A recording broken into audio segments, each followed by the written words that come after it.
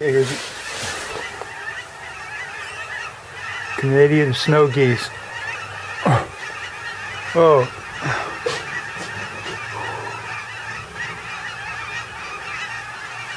Intense. Seems they're heading east.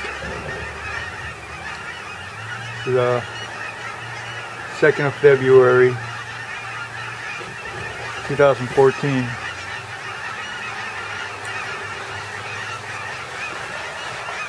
They're heading heading east.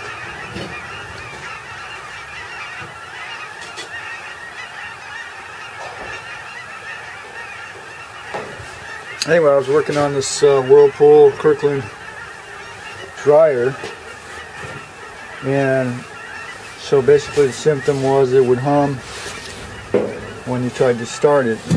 Normally it would be the motor I would think. I think somebody dropped something down the lint chute.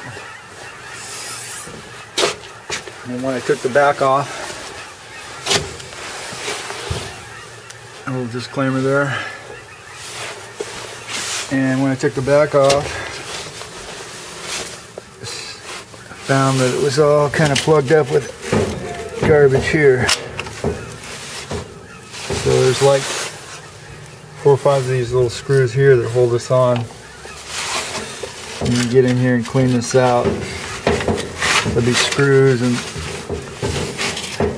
bobby pins and credit cards and who knows what. And as well you can check here for lint built up. And uh, here, clean all that off.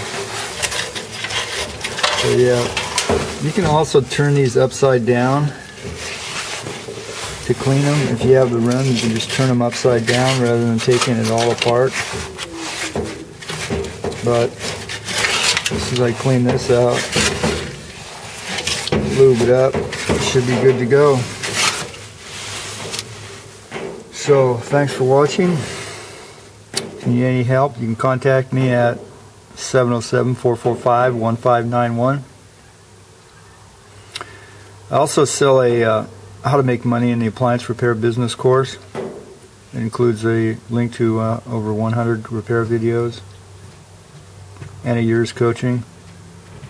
It's only $49.95 and you can send that to Bill's Enterprises, P.O. Box 7021, Eureka, California 95502. Thanks for watching.